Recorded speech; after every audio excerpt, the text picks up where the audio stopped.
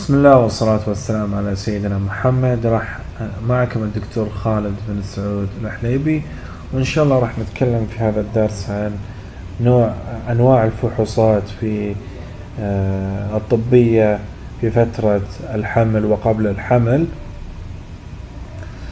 طبعا فحص مرة واحدة كل شهر من الأسبوع الرابع أو حتى الأسبوع الثامن و وأيضا الأسبوع العاشر وأيضا الأسبوع الثامن والعشرين أيضا فحص مرتين في الشهر ابتداء من الأسبوع الثامن والعشرون إلى الأسبوع السادس والثلاثون وأيضا فحص أسبوعي من الأسبوع السادس والثلاثون حتى نهاية الوضع أو حتى نهاية يعني الولادة.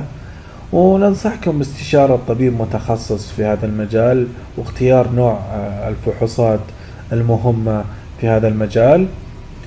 وكل فحص آه، يجب يعني مثلا أخذ دم أو فحص الأنسجة العلوية فحص الرحم وأيضا فحص آه، تحت الأشعة فحص المهبل ونوع البكتيريا والفطريات المتواجدة في آه، فتحة المهبل وفتحة آه، بشكل عام أسفل البطن.